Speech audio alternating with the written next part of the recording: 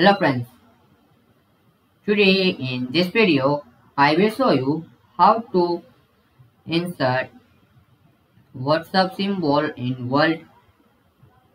So very easily you can insert this uh, WhatsApp symbol or icon in Word.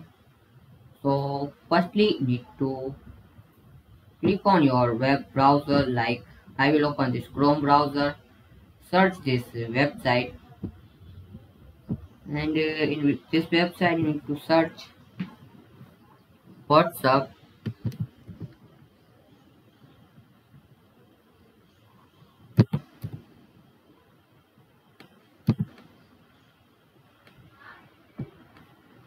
So search this WhatsApp and now here you see this will be showing image.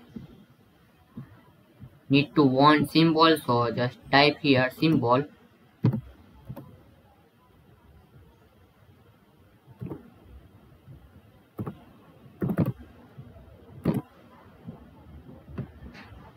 so you see this this is all in symbol type. Like need to want this. So just click on it.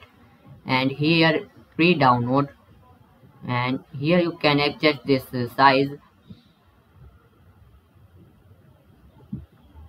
And now click on download.